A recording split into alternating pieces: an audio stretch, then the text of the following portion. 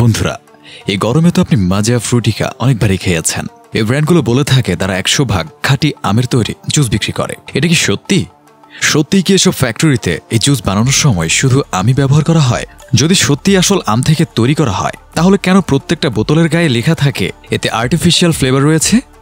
আজকে আমরা এই সবই দেখাবো। তাই সবকিছু দেখতে হলে ভিডিওর শেষ পর্যন্ত আমাদের সাথেই থাকুন। আর চ্যানেলটি সাবস্ক্রাইব করে বেল অপশনটি চালু করুন। প্রথমে বলি কীভাবে এই আমগুলো ফ্যাক্টরিতে আসে।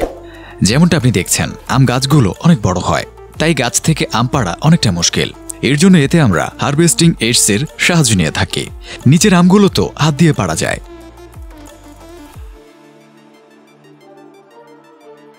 কিন্তু উপরের আমগুলোর জন্য পিকিং স্টিক ব্যবহার করা হয়, যার মাথায় মেকানিক্যাল জস লাগানো থাকে, যেটা আমের বোটাটাকে কেটে ফেলে এবং আমটি নিচে পড়ে যায়। এর চেয়ে উঁচু আমগুলো পাড়ার জন্য একটি হাইড্রোলিক লেডারের ব্যবহার করা হয়, যা একটি ট্রেনের সাথে সংযুক্ত করা থাকে। আম পাড়ার পর প্রথমে একে একটি ট্রাম্পোলিনে ফেলে দেয়া হয়। এরপর আমের বোটাগুলো ফেলে দেয়া হয়।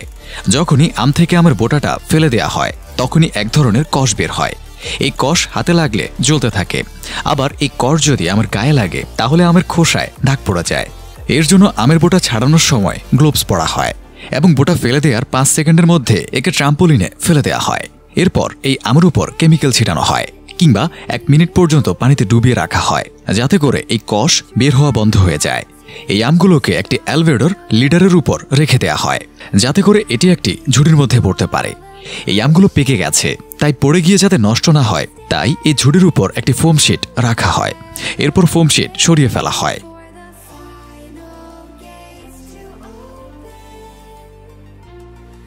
এরপরে আমকে স্টোর করার জন্য বড় বড় স্টোর হাউজে পাঠানো হয় এবং এখান থেকে ফাইনালি জুস বানানোর জন্য এগুলোকে বড় বড় ফ্যাক্টরিতে ট্রাকে ভরে পাঠিয়ে দেওয়া হয়।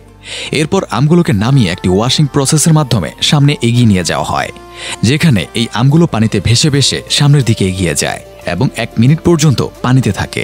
এখানে পানির সাথে সাথে রোলারও ব্যবহার করা হয়, যাতে আমগুলো ভালোভাবে পরিষ্কার হয়। এরপর আমগুলোকে ফ্রি হিটিং এবং সফটনিং প্রসেসের জন্য তিন থেকে পাঁচ মিনিট পর্যন্ত গরম পানিতে রাখা হয়। এটা করার ফলে আমের উপরে থাকা পলিফেনল অক্সিডিস দূর করা যায় এবং এর সাথে আমের ফ্লেভার এবং কালারও অনেক ভালো হয়। এরপর আমগুলো কনভেয়ার বেল্টে করে রোলারের উপরে পড়ে, যার আশেপাশে ফ্যাক্টরি কর্মচারীরা থাকে। সবার প্রথমে কর্মচারীরা এই আমগুলোকে ভিজুয়াল ইন্সপেকশন করে ড্যামেজ পরীক্ষা করে। যদি কোনো আমের কোয়ালিটি ভালো না হয় কিংবা ড্যামেজ হয়ে থাকে, তাহলে সেই আমগুলো লাইন থেকে সরিয়ে ফেলে এবং বাকি আমগুলোকে ওই লাইনে রেখে দেয়। কর্মচারীরা ভালো আমগুলোর উপরের দিকটা কেটে দেয়।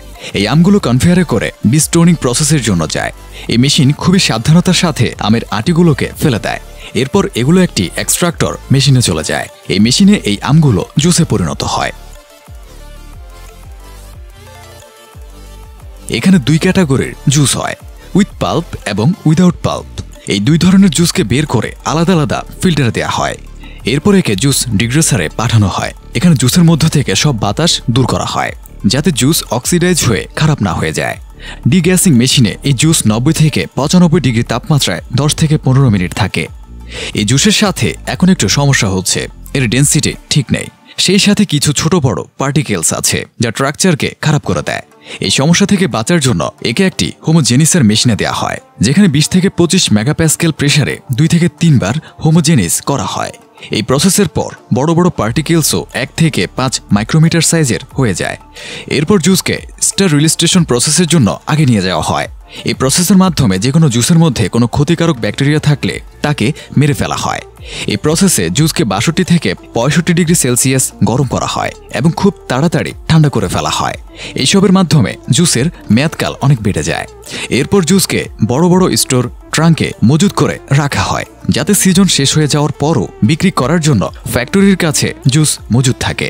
আপনি এটা বলতে পারেন যে আপনি যে জুসটি খাচ্ছেন, সেটা ফ্রেশ না, বরং একে ছয় সাত মাস আগে ফ্যাক্টরিতে রাখা হয়েছে। এত সময় ধরে জুস মজুদ করে রাখার একটি অসুবিধা হলো, জুস তার ফ্লেভার হারাতে শুরু করে। এর জন্য কোম্পানিকে এর ভেতরে আর্টিফিশিয়াল ফ্লেভার দিতে হয়। এই জন্য সব জুসের বোতলে আর্টিফিশিয়াল ফ্লেভার যোগ করার কথা বলা হয়।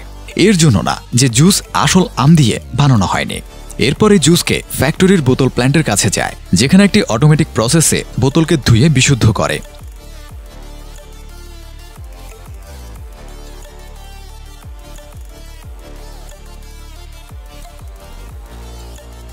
এরপরেতে জুস ভরে অটোমেটিক মেশিনের সাহায্যে ক্যাপসিল করে দেয়া হয়।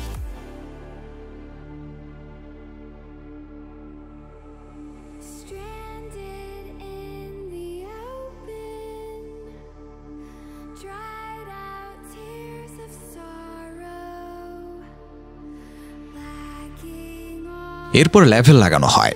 এখন এই জুস আপনার ফ্রিজ পর্যন্ত আসার জন্য তৈরি। ভিডিওটি ভালো লাগলে লাইক করতে ভুলবেন না। পরবর্তী ভিডিও দেখার আমন্ত্রণ জানিয়ে আজকের মতো এখানে বিদায়।